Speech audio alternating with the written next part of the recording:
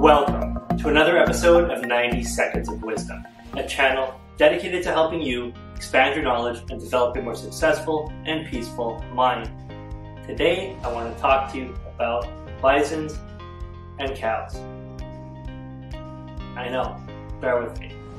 So, when there's a storm coming, both cows and bison can feel it instinctually. And what the cow does is senses the storm and starts running away from the storm.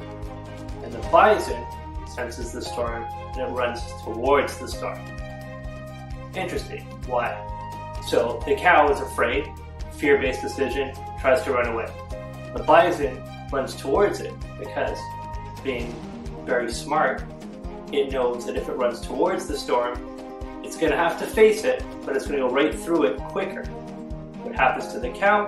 The cow runs away, but cows cannot outrun the storm, so they end up being trapped in the bad weather for longer.